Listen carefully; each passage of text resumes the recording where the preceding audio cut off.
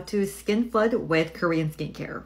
First, start with a clean face. This method works really great if you have damp skin. So after you cleanse, you're gonna go in with your toner or essence. I'm using an essence here, but it's very liquidy, so it reminds me of a toner, and we like to layer this on. In Korea, there's a popular trend called seven skin. It's a method whereby you apply your toner seven times in a row with 30 second increments, and you're basically flooding your skin with so much hydration. Of course, you wanna let it kind of dry a little bit, but as soon as it kind of feels a little dry, you go in with the next layer. I'm not doing seven layers, but I'm going to go in with three layers of this Essence toner. Second, we're going to go in with a hyaluronic acid serum. As you know, in Korea, retinol or other strong actives has never been a very, you know, popular ingredient in Korean skincare. Korean skincare has always been about hydration, hydration, hydration, and gentle, natural exfoliants like rice that can exfoliate your skin from the surface. But overall, we're just focused on hydration. So just going to go in with one to two layers of the serum. Optional, if you have some time, you can go in with a sheet mask after that serum step.